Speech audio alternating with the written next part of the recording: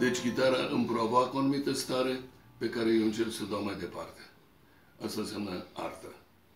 Și uh, atât arta optică cât și arta acustică creează stări. Atunci este artă. Și subliniez și repet, pentru că foarte multă lume confundă astăzi uh, pete de culoare, zgârieturi, stropituri cu o artă profundă. Sau zgomote și bă, și spune, aia este artă. Nu.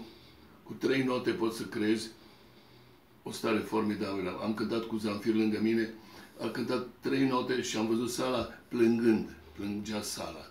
Înțeleg, fără să spui un cuvânt.